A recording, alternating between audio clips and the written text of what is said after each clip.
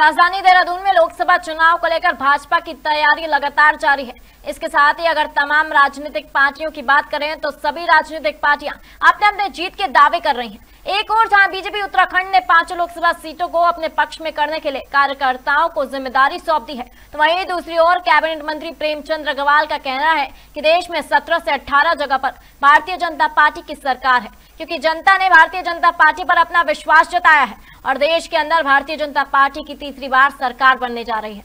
देहरादून से bureau chief Awanish Gupta की report. देखिए, भारतीय जनता पार्टी का आज भी आप देखिए, एक देश के अंदर लगातार तीसरी बार सरकार आने का सौभाग्य प्राप्त होने जा रहा है।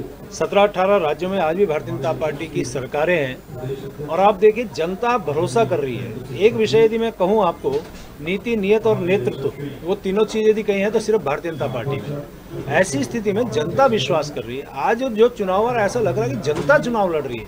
हम लोग तो ठीक है, भारतीय जनता पार्टी के कार्यकर्ता हैं। मुझे तो याद है, मैं संघ पृष्ठभूमि का रहा हूँ और विद्यार्थी परिषद, युवा मोर्चा, भारतीय जनता पार्टी का जिला अध्यक्ष और अनेकों दायित्व के बाद आज मैं यहाँ पहुँचा हूँ। कितनी खुशी मिलती है हमें कि जब हम सोचते थे कि हम भी कभी राज करें, कभी हम भी शासन में आएँगे, सत्ता में आएँगे, आज वो दिन देखने को मिल रहा है। ये हमारे कार्यकर्ताओं के दम पे हम लोग आगे बढ़ रहे हैं। मैं तमाम कार्यकर्ताओं को बहुत बधाई दे रहा हूँ। ये हमारे लिए एक उत्सव जैसा है, एक महापर्व जैसा है। जैसे किसी घर में कोई मांगलिक कार्य होता है, उस प्रकार का ये कार्यक्रम हम जैसे कार्यकर्ताओं